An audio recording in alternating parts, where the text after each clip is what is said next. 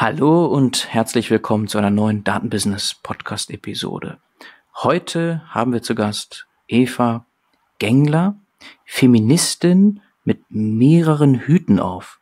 Und zwar gehst du dieses Thema an, unternehmerisch, ehrenamtlich und in deiner Forschung. Und all das besprechen wir heute. Guten Morgen, Eva. Guten Morgen, ich freue mich hier zu sein. Jetzt habe ich schon viele Hüte aufgemalt wortwörtlich gezeigt. Jetzt musst du die einmal uns beschreiben mit deinen eigenen Worten. Ja, danke. Also ich sage meistens tatsächlich, dass ich, also ich bin Feministin von ganzem Herzen und was ich tatsächlich in meiner Hauptzeit, würde ich mal sagen, mache, ist, dass ich dazu forsche.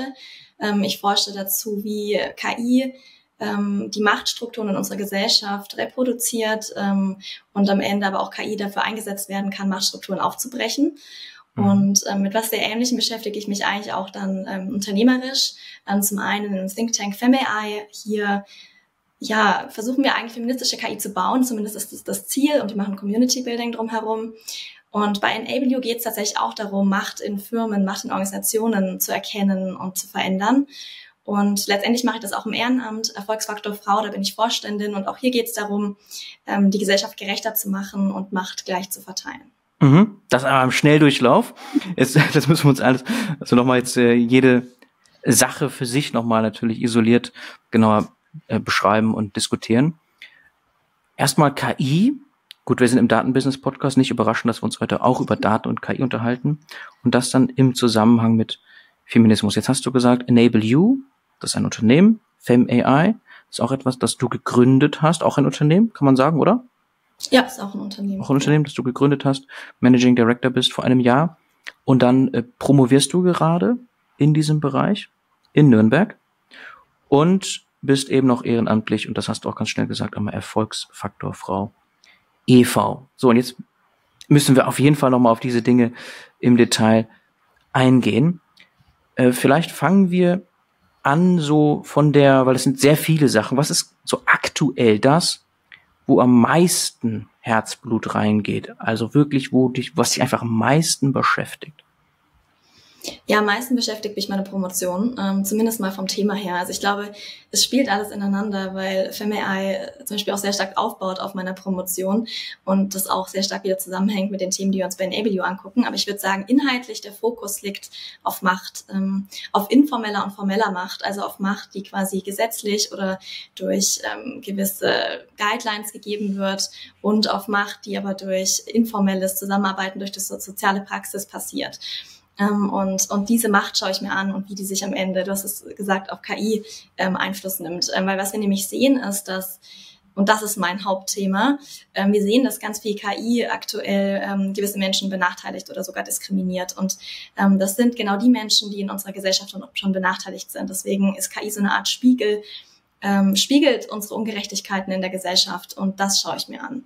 Und mhm. vor allem würde ich mal sagen in der Forschung, also in erster Linie in der Forschung, aber auch darauf aufbauend, wie kann man das ähm, ja durch Impulse in Politik und Gesellschaft verändern ähm, oder aber auch in Unternehmen äh, quasi angehen. Und ähm, ja, also da, wie gesagt, ich glaube, da ist Macht ein sehr wichtiger richtiges Schlagwort. Ähm, und das wird tatsächlich häufig ähm, vernachlässigt, denke ich. Ähm, wir, wir nehmen am Ende irgendwie die Gesellschaft so hin, wie sie ist und wir sehen gar nicht, dass, dass am Ende ja KI genau das nachbildet. Wir sehen vielleicht den Fehler in KI. Wir meinen dann, okay, ähm, die Daten waren schlecht, äh, KI diskriminiert, beispielsweise, sehr bekanntes Beispiel, da hat Amazon eine KI im Recruiting eingesetzt und diese KI hat ähm, ja auf Basis historischer Daten Lebensläufe von Frauen aussortiert, weil die einfach bisher nicht so vorgekommen sind. Bisher gab es vor allem Männer ähm, in, ja, in der Workforce und die wurden quasi dann einfach als die passenderen Men Menschen anerkannt und dann wurden Frauen aussortiert. Das ist ein sehr bekanntes Beispiel. Und ähm, ich denke, der erste Impuls war dann, okay, die KI war schlecht, ja, und, und das war sie irgendwie auch. Mhm. Aber es war sie nur deswegen, weil sie eben auf unseren Machtstrukturen beruht. Ja, die beruht auf den Daten, äh, auf den Machtstrukturen, die da sind. Die Menschen, die Entscheidungen treffen, ähm, sind sehr homogen. Also es gibt einfach viele Einflussfaktoren, die am Ende dazu führen, dass KI so ist. aber das ist nicht am Ende was Technisches, sondern das ist eigentlich was sehr Menschliches. Ähm, und, und das schaue ich mir an. Genau, das ist mein, mein Hauptpunkt. Und am Ende, wie kann man das verändern? Und das mache ich eben, du hast am Anfang auch gesagt, Feminismus, das mache ich mit Feminismus, weil wir sehen, dass ähm, Feminismus unsere Welt schon sehr stark verändert hat. Ähm, Feminismus hat schon sehr viel von der sozialen Praxis verändert. Wir sehen aber auch, dass es Einfluss hatte auf formelle Macht, also im Sinne von, äh, von Gesetzgebung. Auch hier ähm, hat sich schon viel getan. Frauen dürfen jetzt in Deutschland wählen. Sie dürfen irgendwie in einem bezahlten Job nachgehen, ohne den Mann um Erlaubnis zu fragen. Sie dürfen ein Konto besitzen. Alles noch nicht so lange her, auch wenn es irgendwie krass klingt. Ähm, und das ist quasi die Perspektive, die wir auch in KI reinbringen wollen, weil Feminismus eben schon so viel verändert hat in unserer sozialen Gesellschaft. Mhm. Und wenn du Macht sagst, dann meint das alle Aspekte, also von Politik, Gesellschaft, Wirtschaft. Jetzt hast du da keinen Schwerpunkt im Sinne von deiner Arbeit. Natürlich sind, es ist allumfassend, das Thema, aber ist jetzt nicht so, dass du sagst, es ist genau so dieser Bereich, du schaust dir jetzt an, wie in Unternehmen, jetzt weil du Recruiting als Beispiel hattest, äh, Ungleichheit mhm. besteht oder so. Und das, das nicht? Oder gibt's da doch etwas, wo du sagst, doch, doch, doch, das ist ganz klar der Fokus bei mir? Mm, ich glaube, wir haben es uns tatsächlich relativ holistisch angeschaut, aber auf unterschiedlichen Ebenen. Also wir haben gesagt, okay, Macht ist erstmal irgendwie da in unserer Gesellschaft und hier mhm. gibt's eben ähm, formelle Machtstrukturen. Das können Gesetzestexte sein, das ist natürlich dann politisch, ähm, aber es ist auch irgendwie informelle Macht. Das ist sowas wie, ähm, wer hat denn bisher schon sehr viel Macht gehabt in der Gesellschaft? Oder in der Politik. Also wer hat bisher quasi schon das Sagen gehabt? Das sind vielleicht in Deutschland relativ privilegierte Menschen, weiße Menschen, männliche Menschen meistens. Ähm, und das findet sich dann auch im Kontext ähm, von KI. Entwicklung und äh, KI-Einsatz. Ähm, und das könnte zum Beispiel auch Unternehmenskontext sein. Aber wir sehen zum Beispiel einen kulturellen Kontext. Ähm, es ist was anderes, wenn wir in Deutschland KI entwickeln, als wenn wir in den USA KI entwickeln. Ähm, solche Kontexte fließen natürlich ein. Und dann haben wir uns tatsächlich aber auch die Organisation an sich angeschaut. Also wir haben gesagt, okay, wenn jetzt KI entwickelt wird, dann ähm, wird das von Menschen gemacht im Unternehmen. Es wird, ähm, es werden kommen gewisse Daten ähm, zum Einsatz und ein gewisses Design wird gewählt in diesem einzelnen Kontext. Ähm, also ich würde sagen, wir sind vom Großen ins Kleine gegangen und haben gesagt, okay, es gibt einen gesellschaftlichen Kontext, es gibt einen kulturellen Kontext und dann passiert das Ganze aber in einem Unternehmen. Und hier findet natürlich auch Macht statt. Im, zum einen weil Menschen eine gewisse Macht ausüben, weil gewisse Menschen mehr Macht haben in Unternehmen, aber auch weil ähm, diese Macht sich wieder in Daten wiederfindet. Und hier finden sich natürlich aber auch wieder, sage ich mal, gesellschaftliche Phänomene wieder, weil wir Daten verwenden, die vielleicht eigentlich aus der Gesellschaft kommen und ähm, wieder gewisse Stereotype aus der Gesellschaft reproduzieren, die vielleicht nicht nur in diesem Unternehmen ähm, vorherrschen. Mhm.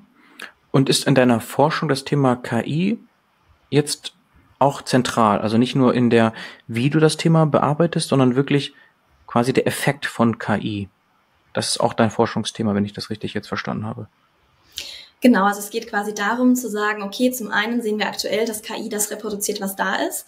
Das mhm. heißt, aktuell macht KI unsere Welt, würde ich mal sagen, eher schlechter oder eher ungerechter, weil einfach ähm, äh, durch die Statistik ein Stück weit die Ausreißer weg, weggenommen werden. Also wenn ich jetzt zum Beispiel an, an wieder das Amazon-Beispiel denke, KI im Recruiting, ähm, war es ja nicht so, dass vorher gar keine Frauen da waren. Aber dadurch, dass jetzt quasi die KI ähm, durch dieses, durch diese, ähm, durch die Norm, durch das Mittel trainiert wird, ist es noch immer unwahrscheinlicher, dass hier Frauen tatsächlich dann eingestellt werden, wenn so, wenn die KI so verwendet wird und so, so äh, generiert wird.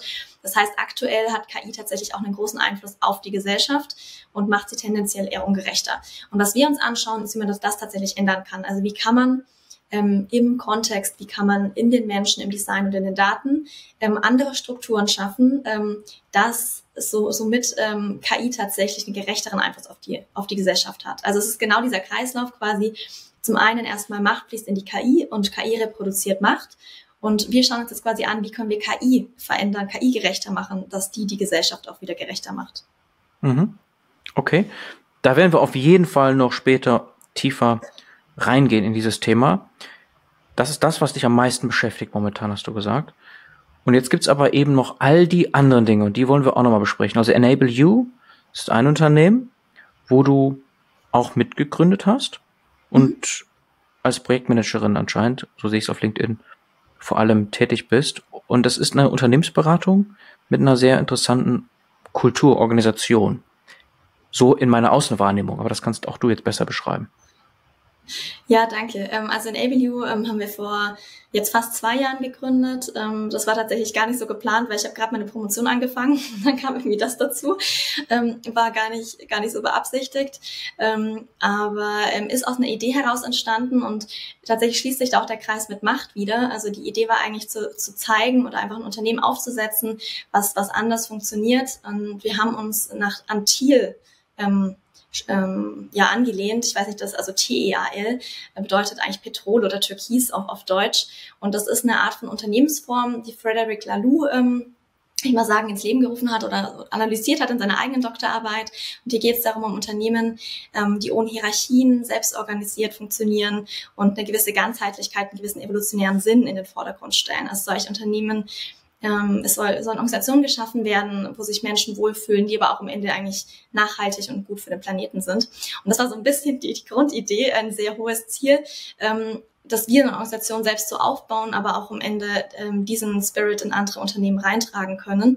Und ähm, wir sind eine Organisations- und IT-Beratung, weil wir meinen, ähm, dass man das wirklich holistisch betrachten muss. Also zum einen muss man Organisationen ähm, schaffen. Ähm, wir, wir, wir helfen unseren Kunden in der Organisation so zu gestalten, ähm, dass sie in 15 Jahren noch existieren, erfolgreich und nachhaltig. Ähm, und dafür brauchen wir einfach auch IT. Und da ähm, unterstützen wir die Organisationen ähm, IT-Teams selbst aufzubauen, vielleicht auch mit Offshoring äh, und dieses Team-Enablement steht in, im, im, Vordergrund. Also wir, wir bauen auch selbst Softwareprodukte mit, aber eigentlich geht es mehr darum, auch hier das Team zu enablen, ähm, zukunftsfähig zu sein. Und ähm, ich glaube, das braucht Deutschland wirklich. Also wir brauchen, wir brauchen, glaube ich, zukunftsfähige Unternehmen ganz, ganz dringend. Mhm. Aber es war nicht zuerst da, diese Idee, okay, Unternehmen aufbauen im Sinne von Thiel, sondern es war erst da, wir wollen ein Unternehmen aufbauen, du mit deinen Mitgründern. Wie viel seid ihr insgesamt im Gründungsteam? Wir sind drei. Drei? Ja. Es war ja dann wahrscheinlich zuerst da, okay, was ist eigentlich das Produkt oder die Dienstleistung in dem Sinne und dann, wie wollen wir das umsetzen, oder? Ich würde tatsächlich sagen, nein.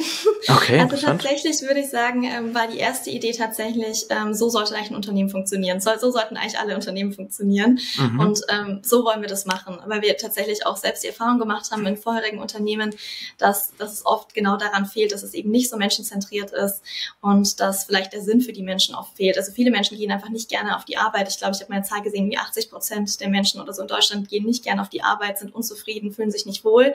Mhm. Und ähm, das war so ein bisschen der Punkt, okay, ich glaube, wenn man das so macht, ähm, wie eben in Thiel vorgeschlagen, dann, dann wird das so nicht sein, sondern geht man tatsächlich gerne auf die Arbeit. Dann ist das tatsächlich ein Ort, in dem man sich entfalten kann. Und wir verbringen so viele Stunden auf der Arbeit. Das sollte ein Ort sein, wo wir gerne sind.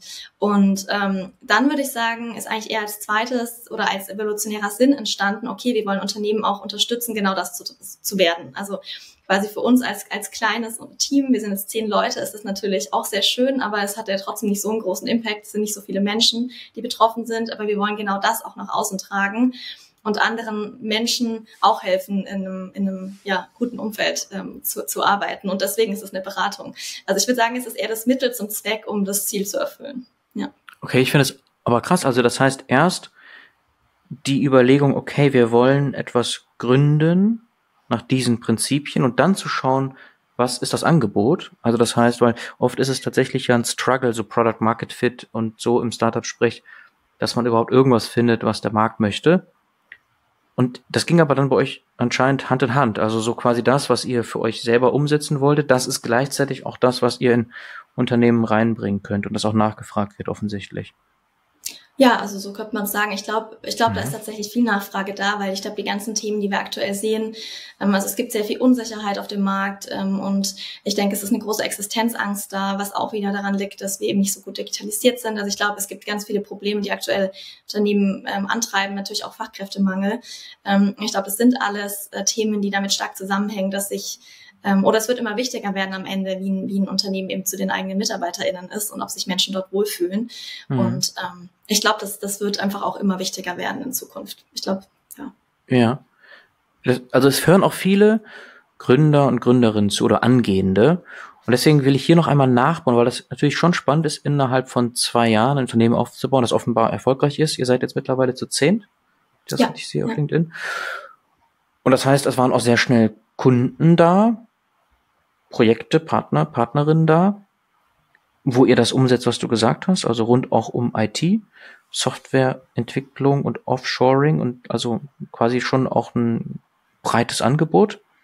Wie habt ihr das gemacht? Also was war, was waren so, vielleicht nicht die Hacks, aber was hat euch so auf diesen Weg gebracht dann des Erfolges? Weil das weiß ich und das höre ich immer wieder. Viele sind gerade am Anfang lange, lange, lange am struggeln, bis sie überhaupt mal irgendwas auf die Straße bringen. Also ich, es war auf jeden Fall nicht alles einfach. Ich glaube, es klingt dann vielleicht auch von außen einfacher, als es, als es das wahrscheinlich für uns ist, weil ich würde auch nicht sagen, dass wir jetzt schon so super erfolgreich sind und sagen können, okay, wir können uns zurücklehnen. Das ist definitiv, würde ich sagen, nicht der Fall, sondern es ist, aber ich würde sagen, der, ich würde sagen, die größte Herausforderung ist tatsächlich, aber auch was du sagst, eigentlich KundInnen ähm, bekommen. Und ähm, also ich denke, also ich würde sagen, das ist ein großer Struggle und es ist auch heute nicht einfach, weil der Markt immer noch nicht, würde ich sagen, ähm, total einfach ist. Also ich würde sagen, es ist immer noch was, was eine Herausforderung ist.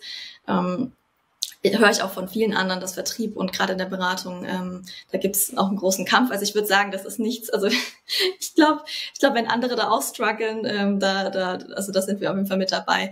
Aber ich glaube, was, was wir sehr gut schaffen, ist, dass wir diesen Spirit, den wir haben, auch nach außen tragen und dass man uns das abnimmt. Ich glaube, dass sehr viel von New Work gesprochen wird und von vielen anderen Themen. Ich glaube, die sind häufig, ich glaube, das spielt irgendwie alles ähm, zusammen, aber ich glaube, New Work ist oft nicht ähm, ausreichend, ja, oder das, was oft drunter verstanden wird, ist nicht ausreichend. Und ich glaube, wir gehen das einfach holistischer an. Trotzdem ähm, gibt Up und Ups und Downs und es ist nicht, ist nicht alles einfach.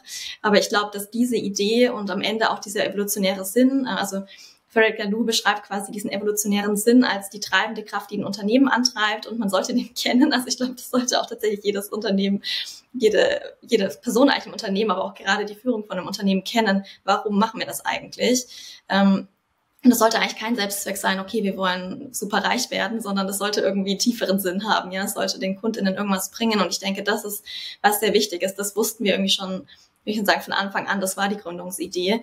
Ähm, und ich glaube, das hilft uns wirklich, weil wir deswegen auch wissen, wie wir Entscheidungen ähm, treffen müssen. Und ich finde, dieser ganze Blick von Frederick Laloux, der sagt quasi, okay, ähm, Profit oder, oder Geld irgendwie ist natürlich wichtig für ein Unternehmen. Also er sagt, es ist quasi wie die Luft zum Atmen. Ähm, er sagt, wir brauchen das zum Leben, aber wir leben nicht, um zu atmen. Und ich finde, das ist eigentlich ein sehr schönes Bild. Ähm, deswegen geht's halt am, am, Ende einfach nicht nur um Profit. Natürlich braucht es das auf jeden Fall, natürlich. Ähm, aber ich glaube, dann kann man vielleicht auch anders wachsen, muss vielleicht nicht so schnell wachsen oder im Grundsatz ähm, geht man das anders an. Und wie gesagt, ich glaube einfach, wir wussten, wir wussten, was unser Sinn ist, wir wussten, was unser Ziel ist. Und ich glaube, das ähm, ist doch was, was, ähm, was uns vielleicht ein bisschen von anderen abhebt, ja, dass man das auch mit einbezieht in Entscheidungen. Also eigentlich bringt es dem Sinn was. Also zum Beispiel auch Konkurrenz wird eigentlich als, als, als Willkommenes angesehen in diesem Zielgedanke, wenn man sagt, okay, wenn es viel mehr Unternehmen gibt, die das genauso machen und die quasi auch diesen Sinn verfolgen, dann wird der Sinn schneller erreicht. Ja? Also deswegen, ich finde diesen ganzen Blick ähm, aufs Wirtschaften sehr gut. Aber leicht würde ich sagen, ähm, also oder einfach ist es, ist es nicht. Mhm. Ja, genau. Wir wollen nur verstehen, was euch dann quasi den Weg geebnet hat, ja. weil das einfach ganz viele da draußen als Learning zum Mitnehmen so einfach interessiert natürlich, wie machen es andere. Ja, denn wie gesagt, es gibt viele Freelance Freelancerinnen auch, die vielleicht eine Transition dann machen von dem ja. Solopreneurship zu Unternehmensaufbau. Das höre ich jedenfalls immer mal wieder.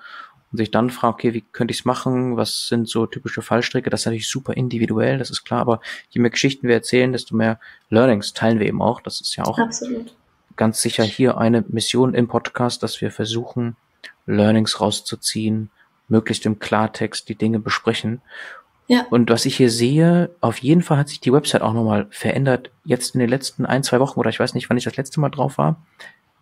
Da habt ihr auf jeden Fall nochmal was nachgelegt, verändert. Also die sieht jetzt deutlich umfangreicher aus, richtig? Also in den letzten zwei Wochen sollte sich eigentlich Oder die Zeit rennt. Es kann auch schon wieder mehr Wochen sein. Also. ja. Deswegen, also ich habe in den letzten zwei Wochen auf jeden Fall nichts gemacht. Also da okay. müsste ich mal gucken, ob, äh, ob sich was getan hat. Aber ähm, okay. In, in welchem Bereich meinst du? Also insgesamt, also mir kommt es doch nochmal deutlich umfangreicher vor, was ich dort jetzt vorfinde. Und vielleicht sind es auch schon wieder vier Wochen, ja, das kann auch sein, als ich also das erste Mal. Wir, also Beiträge war. sind vielleicht dazu gekommen. Ich glaube ansonsten ähm, sehr neues, umfangreiches nicht. Aber was wir auf jeden Fall gerade tatsächlich tun, also deswegen wird sich bald was ändern auf der Webseite, ähm, ist, dass wir gerade nochmal sehr stark auch drüber nachdenken, was ist eigentlich genau unser Produkt. Also ich glaube, deswegen sprichst du einen wichtigen Punkt an, aber ich würde sagen, es ist nichts, wo wir schon fertig sind, sondern wir sind auch gerade nochmal am Schärfen, okay, was ähm, wollen wir eigentlich genau nach außen tragen? Was ist unser Produkt? Wie lange dauert das? Wie kann man das schneiden? Was gibt es vielleicht für kleinere Produktteile, wenn vielleicht eine Organisation noch nicht, vielleicht mal die komplette Transformation machen möchte, sondern was gibt es für einzelne Bausteine? Also da wird tatsächlich bald sich noch einiges tun auf der Webseite. Ähm, weil ich glaube, bisher wird es noch nicht ganz so klar, was die einzelnen Produkte sind. Also ich würde sagen, das ist aber vielleicht auch was, ähm, ich glaube, wir gehen da relativ iterativ und in der 80-20-Regel vor. Also meistens stelle ich Sachen auch auf die Webseite, die sind vielleicht noch nicht komplett fertig oder wir wissen auch, es wird sich wieder verändern.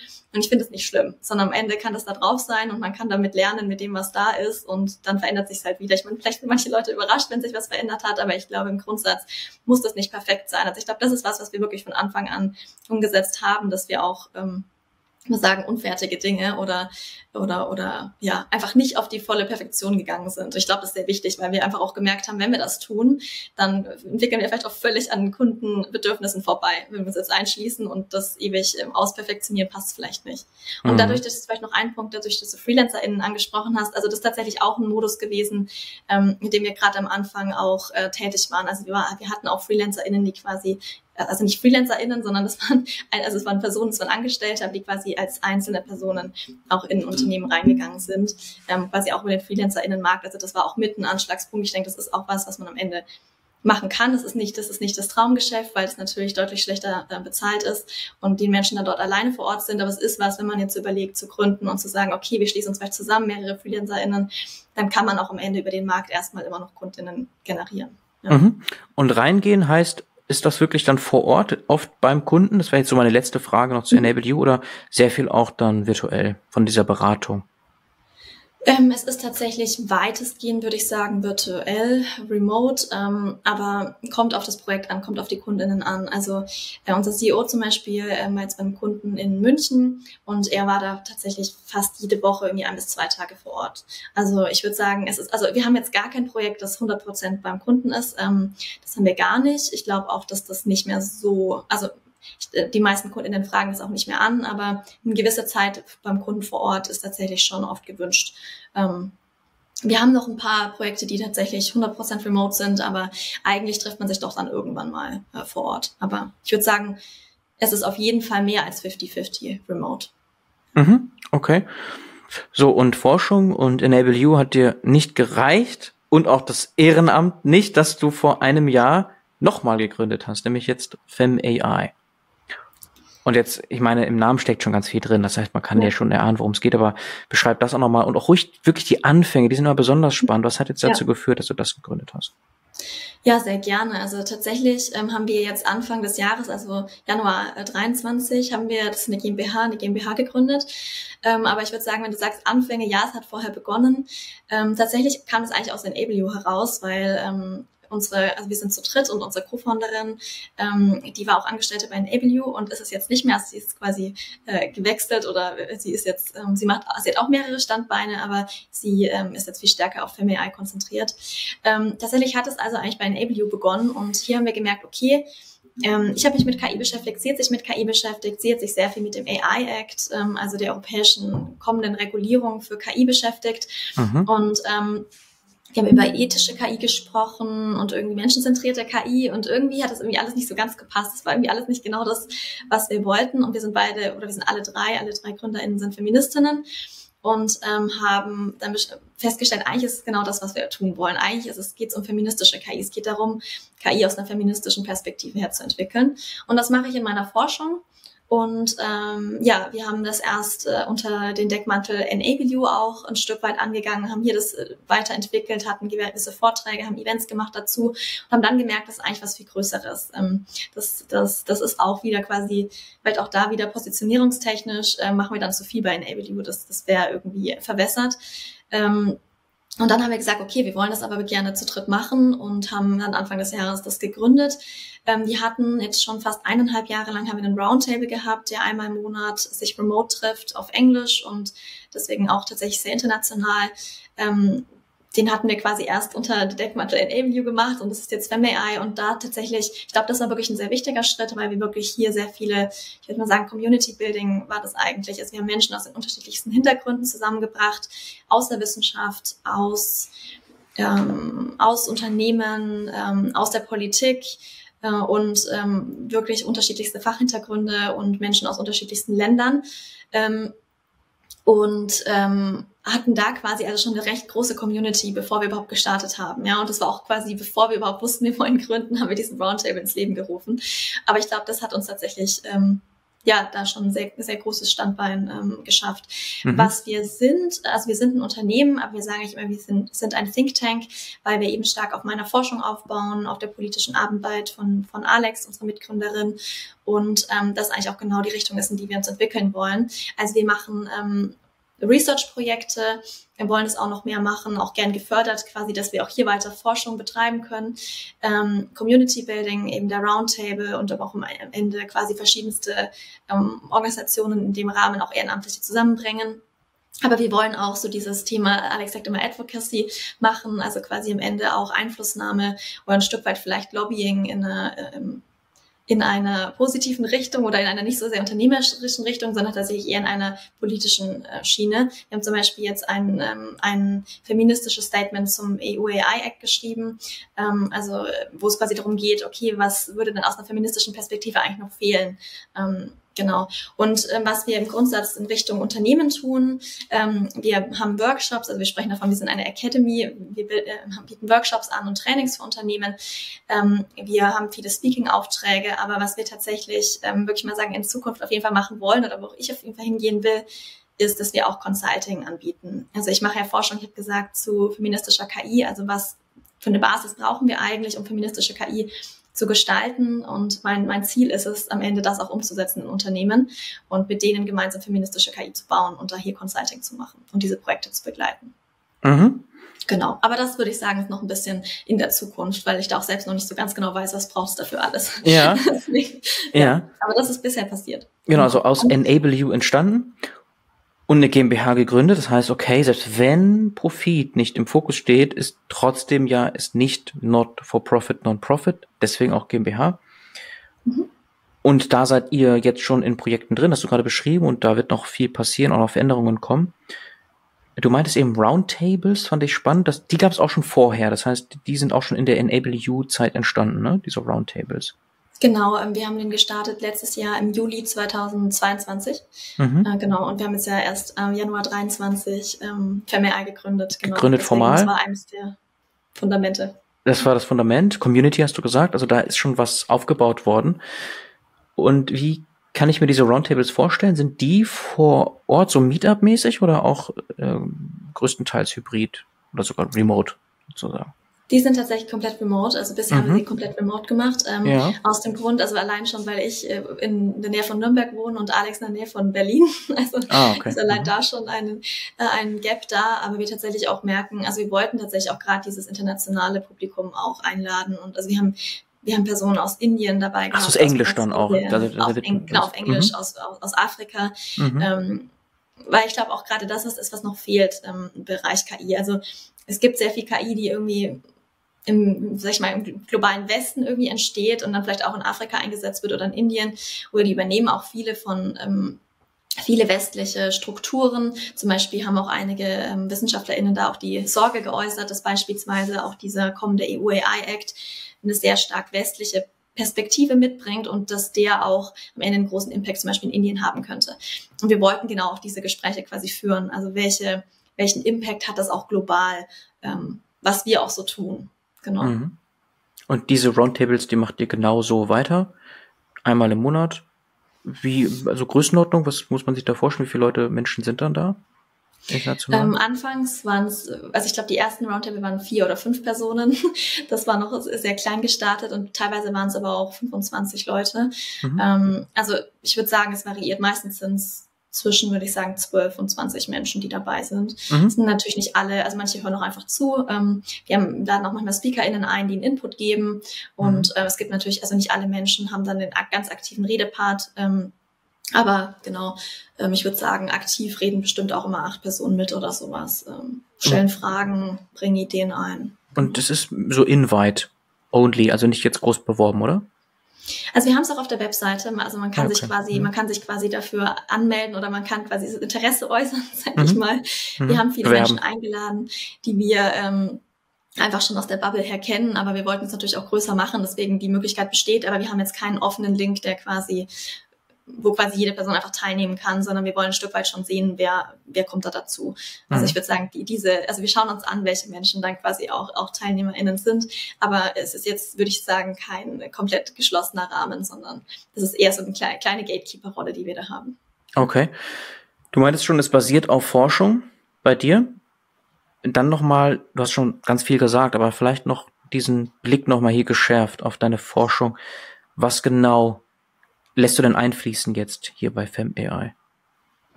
Genau, also ähm, wie gesagt, das Ziel wäre irgendwann tatsächlich ähm, Unternehmen dazu zu beraten oder Organisationen generell ähm, feministische KI zu bauen.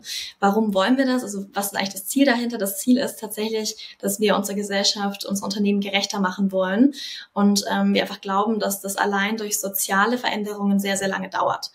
Und also wir sehen einfach bis sich Menschen verändern, das dauert lange. Bis sich Mindsets verändern, dauert lange. Ähm, aber mit Hilfe von KI kann man auch das, sag ich mal, anschieben. Also zum einen kann man tatsächlich KI verwenden, um einen gewissen Spiegel vorzuhalten. Ja, ich habe wieder das Beispiel Amazon. Ähm, KI wurde hier im Recruiting verwendet. Man hat gemerkt, okay, tatsächlich haben eigentlich wir bisher schon schlechte Entscheidungen getroffen und die waren nicht perfekt, die waren irgendwie gebiased, ja. Also die hatten gewisse Vorurteile. Und mhm. ähm, ich glaube, das passiert tatsächlich recht häufig, dass KI eingesetzt wird und dann merkt man, ups, ähm, ist nicht ganz genau so gelaufen, wie wir es eigentlich wollten. Und dann beginnt man zu reflektieren, warum ist es denn so? Ich glaube, das ist mal ein wichtiger Punkt. Ähm, aber wir wollen tatsächlich auch KI bauen, die anders funktioniert. Also wir wollen KI bauen, die tatsächlich feministischen Prinzipien folgt und am Ende deswegen auch Unternehmen gerechter macht. Wenn ich jetzt zum Beispiel wieder Recruiting, finde ich einfach ein sehr anschauliches Beispiel bringe. Ähm, wenn ich jetzt, wenn es um die BewerberInnenauswahl geht, ähm, könnte ich eine KI einsetzen, um tatsächlich auch Menschen rauszusuchen, die tatsächlich anders sind als meine bisherige Workforce. Ja, ich könnte sagen, ich möchte tatsächlich Diversität haben. Ähm, das macht die KI nicht automatisch, aber man könnte ihr quasi so ein Ziel mitgeben. Ja? Also ich möchte bitte nicht nur das, was ich bisher habe, ja, sondern vielleicht auch wirklich drüber hinausdenken. Also das ist, würde ich mal sagen, erstmal so das Ziel, ähm, eben mithilfe von KI auch unsere Organisationen zu verändern und gerechter zu machen. Ähm, und was einfließt, ist tatsächlich, ähm, also beispielsweise, ich habe jetzt ein Paper geschrieben ähm, mit, mit, mit drei Kollegen, drei Kollegen tatsächlich, ähm, also ein, ein feministisches Paper zu KI mit ähm, einer Frau und drei Männern, ist auch sehr spannend, finde ich. Aber ist natürlich toll. Ähm, und ähm, hier geht es wirklich darum, sich, wie gesagt, anzuschauen, wie Macht ähm, in KI kommt und wie man das verändern kann. Also wirklich am Ende die Grundlage eigentlich zu schaffen, am Ende auch für eine Beratung, was für Stellschrauben Unternehmen muss ich verändern in der Entwicklung von KI, um gerechtere KI zu schaffen. Und das mache ich eben aktuell vor allem wissenschaftlich, aber das wäre die Grundlage am Ende, um auch dazu Beratung zu machen. Mhm. Also wirklich erstmal sich die Datenlage angucken und dann daraus Beratung zu machen. Okay, und wohin zeigen die Lösungen? Geht es darum, Daten anders einzuspeisen, weil die KI ist am Ende ja etwas Trainiertes auf Daten? Oder ja. ist es vor allem Thema, das hast du auch angeschnitten, wie wir damit arbeiten? Also wir können auch ja gewisse Dinge vorgeben, Ziele vorgeben, quasi wie wir mit den auch Ergebnissen arbeiten, wie wir sie interpretieren das oder, oder wie gelingt am Ende feministische KI? Also ich glaube, es ist erstmal auch kein leichtes Ziel, weil wir tatsächlich an vielen Fronten kämpfen, würde ich jetzt mal sagen. Ähm, was wir tatsächlich ähm, denken, ist, dass man sich den Kontext anschauen muss. Äh, der wird zum Beispiel gerade äh, auch juristisch oder re regulatorisch äh, verändert, also mit dem EU-AI-Act, der ja einen gewissen wertebasierten Einfluss nimmt. Ich glaube, es ist noch nicht sehr feministisch, aber ich denke, es, es wird eine gewisse gewissen Rahmen schaffen, dass sich KI-Entwicklung in Europa verändert. Ähm, und ich denke auch hier zum Beispiel ist Thema Bildung sehr wichtig. Ja? Also Bildung von eigentlich klein auf, ähm, um, um Kindern beizubringen, was kann KI, was kann KI nicht, also eine gewisse Literacy aufbauen, ähm, wo kann ich KI gut einsetzen, in welchem Kontext passt es vielleicht gut, in welchem Kontext nicht. Ähm, ich glaube, das ist ein sehr wichtiger Punkt und hier eben auch am Ende Wert darauf legen, dass zum Beispiel auch gerade Mädchen damit in Kontakt kommen, weil bisher sehen wir auch einfach, dass noch viel zu wenig Mädchen zum Beispiel Informatik studieren. Also ich würde sagen, es ist ein sehr globaler Kontext. Ja, das sind sehr lang, langfristige Dinge, aber die müssten an sich angegangen werden. Wenn wir jetzt eher auf den unternehmerischen Kontext gucken, ähm, also wenn es darum geht, KI zu entwickeln, zu deployen und, und anzuwenden, dann ähm, sind es vor allem drei Einflussfaktoren, die wir uns anschauen. Das sind einmal die Menschen, die KI irgendwie entwickeln, die Entscheidungen zur KI treffen. Es sind Daten, die in KI einfließen, was natürlich extrem wichtig ist. Und es ist am Ende das Design von KI. Also ähm, und Design nicht nur technisch zu sehen, sondern am Ende auch, welche Praktiken gibt es im Unternehmen, um Dinge zu entwickeln. Und da gibt es verschiedene Interventionen, die wir besprochen haben. Ähm, die jetzt aus der Forschung rausgekommen sind, die man zum Beispiel tun könnte. Und bei, bei Menschen zum Beispiel war der Punkt, okay, wir haben teilweise noch nicht genug diverse Teams und es ist auch irgendwas Langfristiges. Natürlich sollten wir, äh, sollten versuchen, Teams diverser aufzustellen. Und was man beispielsweise auch machen kann, ist, ähm, dass man ein Panel der Vielfalt einbindet. Ja? Also wenn man noch nicht genug Vielfalt hat quasi in diesen Entwickler- und Entscheidungsgremien, dass man sagt, wir bauen jetzt ein Panel der Vielfalt ein, ähm, was aus verschiedensten Personen im Unternehmen besteht, ähm, vielleicht von verschiedensten fachlichen Hintergründen, unterschiedliche Altersstruktur auch sehr wichtig, unterschiedlich ähm, vom Gender her und von anderen Faktoren. Und wenn wir jetzt Entscheidungen zu KI treffen, dann ähm, konsultieren wir dieses Gremium. Mhm. Also das wäre beispielsweise eine ähm, eine Maßnahme, wo man relativ schnell oder leicht Diversität einbauen kann, ohne dass man die unbedingt in einem Entwicklungsteam hat. Ähm, wenn ich an Daten denke, fand ich tatsächlich sehr ähm, interessant den Ansatz zum einen, ähm, dass man ähm, synthetisch generierte Daten einsetzt, ja, dass man wirklich Datensätze synthetisch, also künstlich generiert und quasi deswegen nicht auf historischen Daten aufsetzt, die eben gewisse Biases einfach haben.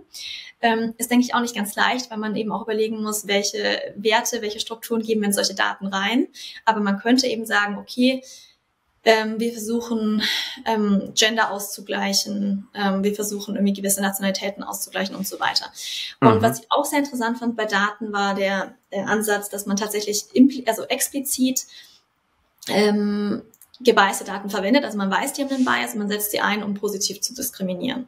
Also um beispielsweise im Recruiting oder wenn ich jetzt an Kreditvergabe denke, da sind aktuell zum Beispiel Kreditvergabe, da sind ähm, jüngere Menschen schlechter betroffen. Also die äh, haben Schwierigkeiten, Kredite zu bekommen. Frauen haben Schwierigkeiten, Kredite zu bekommen. Ähm, People of Color haben Schwierigkeiten, Kredite zu bekommen. Und man könnte zum Beispiel auch hier sagen, okay, das wissen wir, das steckt so in den Daten. Und wir nutzen jetzt die Daten aber dafür, um genau diese Menschen positiv zu diskriminieren. Also um ihnen quasi Vorteile zu geben. Mhm. Ähm, und dann ein Punkt zum Design. Ähm, hier ging es zum Beispiel darum, dass man so einen feministischen Reflex einbauen könnte in die Entwicklung. Also wenn ich zum Beispiel sage, ähm, dass äh, Entwicklungsteams beispielsweise immer wieder so die Frage, also so Fragen bekommen, vielleicht technisch generiert. Hast du an den und den Bias gedacht? Ähm, hast du das Panel der Vielfalt eingebunden. Ja, also dass man quasi so gewisse Punkte setzt, die eben am Ende ähm, ja, die auch das Mindset von diesen Menschen beeinflussen kann. Oder Design könnte natürlich aber auch am Ende zum Beispiel Open Source Software benutzen oder sowas sein. Mhm. Oder am Ende gewisse Features in KI einbauen. Aber ich glaube, es gibt in diesem Dreiklang eben verschiedenste Dinge, die man tun kann, die eben nicht nur technisch sind, sondern eben auch sehr viel, glaube ich, menschlich oder organisatorischer Natur. Mhm. Ist dann das quasi synonym, wenn ich sage, Fem AI, Unbiased AI?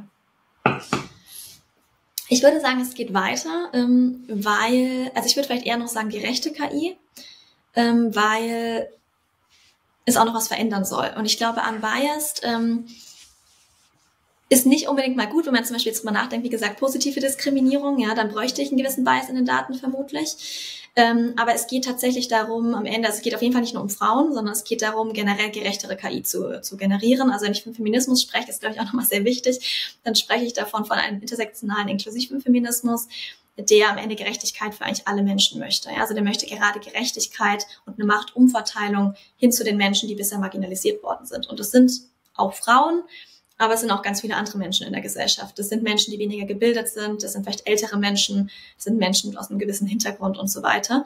Ähm, und da möchte so eine feministische KI das gerechter machen. Deswegen glaube ich, ist Unbiased bezieht sich sehr stark auf Daten. Und ich glaube, das ist nicht alles, was wir uns angucken müssen. Ähm, ich denke, man kann auch Biased KI schaffen, indem man ähm, vielleicht gute Daten hat und sage ich mal, vielleicht sehr homogene Menschen daran arbeiten. Also ich glaube, Bias ist ein sehr wichtiger Punkt, aber ich glaube, es ist nicht alles. Also es geht eigentlich mhm. wirklich darum, am Ende zu sagen, wir möchten eine KI gestalten, die am Ende die Welt gerechter macht. Und ich glaube, unbiased KI würde das nicht unbedingt tun. Aber wäre sicherlich schon ein guter Schritt in die Richtung. Also es wäre auf jeden Fall auch ein Teil sicherlich mhm. von feministischer KI. Okay, ja, ich habe auch gerade überlegt, im Extremfall ist es ja sogar dann gut, die Biases zu haben, je nachdem, was ja. das Ziel dann ist. Ne? Das ist also äh, schließt das eine das andere nicht aus. Also, das hast du ja selber auch in Beispielen schon angeschnitten gerade. Okay, soweit verstanden. Du hattest EU AI Act gerade im Zusammenhang mit Alex reingebracht. Ja. Ähm, wirst du dich auch mit beschäftigen, ja trotzdem. Wie schaust du darauf? Also das ist ja gut für Europa riesig, aber sollte ja schon auch etwas sein, das globale Bedeutung hat. Wie weit geht dort das Thema ähm, feministische KI? Also ich glaube, der EU-Act ist nicht feministisch. Also ich glaube, das können wir ganz klar sagen. Aber ich glaube, dass er einen gewissen Rahmen schon schafft. Also erstens wird es die erste Regulierung sein äh, für KI weltweit, was glaube ich schon ein sehr guter Schritt in die richtige Richtung ist. Äh, und was die EU tut, ähm, also das ist jetzt in den letzten Zügen und sollte eigentlich dann auch bald final sein, aber deswegen weiß man noch nicht ganz genau, was quasi dann am Ende drin steht, weil es gab verschiedene Entwürfe und es wird jetzt quasi noch diskutiert, was am Ende der Endentwurf ist. Ähm, aber was quasi die Basis ist, das ist ein risikobasierter Ansatz, der sich quasi anschaut, ähm, wie die KI ähm, in welchem, ich würde mal sagen, Use Case oder in welchem Kontext sie eingesetzt wird und wie risikobehaftet das ist. Also beispielsweise wäre Recruiting eine Hochrisiko-KI, weil die einen starken Einfluss auf Menschen haben kann. Ähm, und ähm, es gibt vier Risikostufen und das eine ist eine ähm, quasi, also über Hochrisiko-KI ist quasi eine, also eine Risikostufe, die quasi unakzeptabel ist. Also so eine KI darf nicht eingesetzt werden.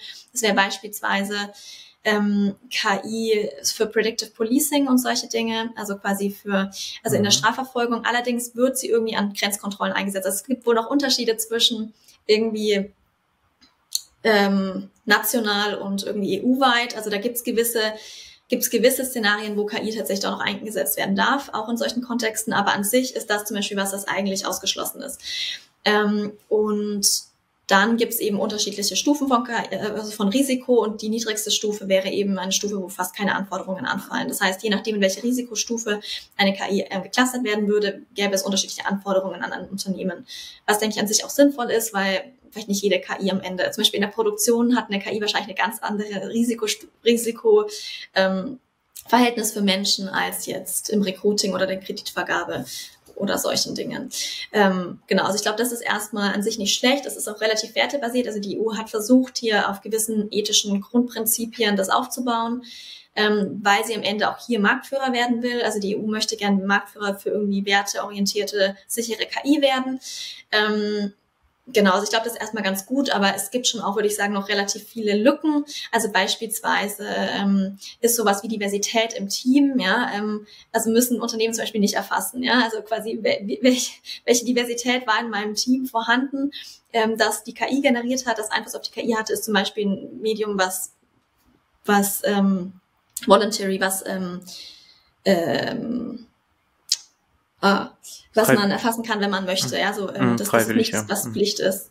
Mhm. Ähm, oder beispielsweise, was ich glaube ich auch einen sehr, sehr wichtigen Punkt ist, finde, ist am Ende KI verbraucht ja auch wahnsinnig viel Energie, also hat einen großen Fußabdruck ökologisch und das ist zum Beispiel auch was, was im AI-Act nicht verpflichtend ist. Ja, also das ist auch was, was man freiwillig erfassen kann, was ich glaube ich, also ich glaube, es gibt Dinge, außer wie Barrierefreiheit und so, die ähm, jetzt nicht einen sehr hohen Stellenwert haben. Deswegen würde ich nicht von, von einem feministischen Prozess sprechen. Ich glaube auch, wenn man sieht, wer wer inkludiert war in dem Prozess. Also es konnten viele Menschen daran teilhaben oder viele Organisationen, aber es waren halt doch vor allem große Unternehmen beteiligt, ja, weil sie sich das leisten können, da Unternehmen ähm, da Menschen reinzusetzen. Mhm. Jetzt ähm, beispielsweise von unserem kleinen Verein, Erfolgsfaktor Frau, ja, da, da konnten wir uns jetzt nicht leisten, jemand hinzusetzen, und wir können den nicht bezahlen dafür. Ja, also mhm. ich denke, dass es noch sehr viel Ungleichheit gibt am Ende, wer am Ende wirklich mitreden konnte und wer nicht.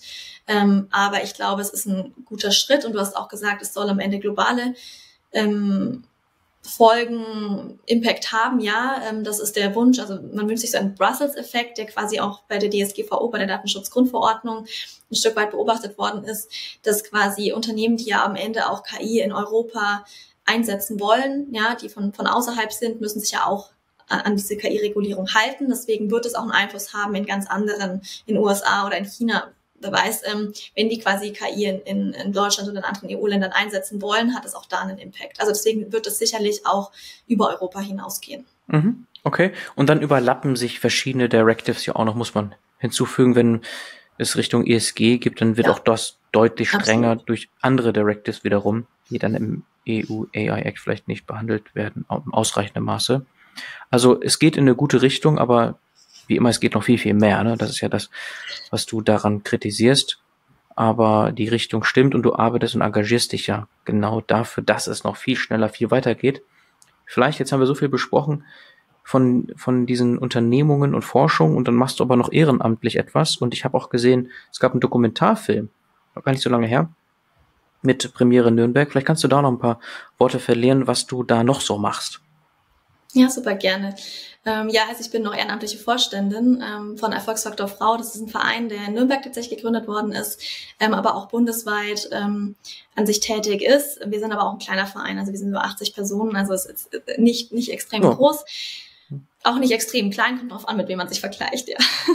ähm, und ähm, gestartet hat der Verein tatsächlich äh, mit dem mit dem Wunsch für mehr Diversität, für mehr, mehr, Frauen in Führung tatsächlich. Und es war auch mit mit auf dieser ins, also das hieß früher Nürnberger Resolution. Ähm, da war ich noch nicht dabei, aber da hat sich quasi ähm, eine gewisse ja Bewegung entwickelt, die quasi am Ende auch dazu geführt hat, dass ähm, das Führungspositionengesetz in Deutschland in Kraft getreten ist. Ähm, da gibt es Führungspositionen Gesetz 1 und Führungspositionen Gesetz 2 und es ähm, geht um die Vorstände in DAX-Unternehmen. Also betrifft nicht, also das ist immer die, die viel beschimpfte Frauenquote, ja, die ähm, am Ende, glaube ich, vor denen so viele Angst haben, weil sie am Ende angeblich jede Einstellung beeinflusst. Das ist nicht der Fall, sondern sie beeinflusst nur die, ähm, nur die Vorstandsposten und Aufsichtsräte von den größten DAX-Unternehmen. Ähm, mhm. Und bis, bis zu der Erneuerung, die war, glaube ich, erst vor zwei, drei Jahren, war es tatsächlich auch so, DAX-Unternehmen konnten sich selbst ein Ziel setzen für, für, ähm, für Diversität oder für Frauen im, im Vorstand und viele, also zum Beispiel die ganzen deutschen Autobauer haben sich erfolgreich das Ziel 0% gesetzt und erfüllt. Mhm. Ähm, also deswegen war diese vielbeschimpfte Frauenquote ähm, ja eigentlich nicht, äh, also die hätte man nicht so viel beschimpfen müssen aus dem Punkt äh, herausgesehen, dass jetzt alle Männer benachteiligt werden, wie es manchmal formuliert worden ist. Aber das war quasi so ein Stück weit der Gründungs, ähm, Mitgründungs, ähm, ja, Motivation des Vereins. Ähm, der Verein setzt sich ähm, auch dafür noch stark ein, für mehr Diversität in Fach- und Führungspositionen, ähm, setzt sich aber auch dafür ein, für weniger Sexismus in der Arbeitswelt. Wir sind beispielsweise auch ähm, Teil vom Bündnis gegen Sexismus, gemeinsam gegen Sexismus und ähm, ja, also meine, meine, meine Vorständin, meine Mitvorständin ist ähm, Frauen äh, Gleichstellungsbeauftragte in der Bundesagentur für Arbeit und ähm, das ist natürlich dann auch ihr Home-Turf, würde ich mal sagen, ja, ähm, am Ende ähm, ja Impulse zu setzen, um Sexismus zu erkennen und am Ende auch Sexismus ähm, ja zu verhindern im Arbeitsumfeld. Und was ich mit reinbringe ähm, als äh, eigentlich mein Forschungsschwerpunkt auch ist eben gerechtere KI und Digitalisierung generell, weil das natürlich auch wieder gerade sehr wichtig ist für Frauen, weil wir zu wenig Diversität sehen. Und da sind wir auch da ähm, engagiert, haben zum Beispiel auch so ein Mädchenprojekt, wo wir in Schulen gehen und Role Models vorstellen. Ähm, genau. Und was ich ähm, dazu, was du auch angesprochen hast mit dem Dokumentarfilm. Ähm, wir hatten jetzt mehrere EU-finanzierte Projekte ähm, im Verein. Ähm, eins hat sich auch mit Mädchen und MINT beschäftigt, aber zwei haben sich mit dem Thema Sexroboter beschäftigt. Ähm, Sexroboter sind quasi hypersexualisierte ähm, Darstellungen von Frauen meistens. Also an sich kann man sich das wie Sexpuppen vorstellen, die aber ähm, eben durch KI und durch gewisse Robotikfunktionen, ich würde mal sagen, etwas mehr advanced irgendwie etwas, etwas mehr können. Ja, also die haben vielleicht zum Beispiel schon so eine Art Herzschlag, können irgendwie eine Art Konversation betreiben, so wie mit Alexa beispielsweise. Und ähm, vielleicht auch so die Körpertemperatur und so. Also, ähm, aber was man eben sieht, die sind sehr, sehr sexualisiert dargestellt. Ähm, der weibliche Körper ist ähm, ja, also eigentlich genauso, wie man sich das vorstellen würde, wenn man, wenn man von einer Sexpuppe ausgeht. Ähm, meistens sehr, sehr große Brüste. Wir hatten zum Beispiel für den Dokumentarfilm eine Puppe und wir hatten Brustgröße M. Ähm, und die, die, die, die, die gute Dame konnte fast nicht sitzen, weil sie so vorne übergehangen ist. Ähm, hatte ganz, ganz dünne Beinchen aber und super schmale Taille und alles. Also sehr, sehr klischeehaft dargestellt. Und wir haben uns quasi angeschaut, wie solche Art von Technologie sich auf äh, das Leben von insbesondere Frauen auswirkt. Und wir haben zum einen ähm, Guidelines ähm, erschaffen, äh, äh gestaltet mit, mit, mit ForscherInnen gemeinsam, wie man quasi Sexroboter anders gestalten kann. Ähm, und zum anderen haben wir einen Dokumentarfilm gedreht. Ähm, das war tatsächlich ein sehr cooles Event. Ich habe Vorher war ich noch nie am Dreh von einem Film oder so, also es war tatsächlich sehr cool. Ähm, da haben wir auch verschiedene ExpertInnen zu Wort kommen lassen, ähm, rund um das Thema ähm, Sexroboter, Sexuali also Sexualität von Frauen, Sexualität und Technologie und ähm, genau dieser Dokumentarfilm dreht sich eben darum, was für einen Einfluss diese, diese Medien haben und wie man das vielleicht auch wieder verändern kann. Genau, und der ist jetzt im September fertig geworden und hatte seine Premiere. Genau. Und wird noch weiter gezeigt? Wird noch weiter gezeigt, genau. Äh, nur in einem Kino in Nürnberg oder gibt es noch mehrere?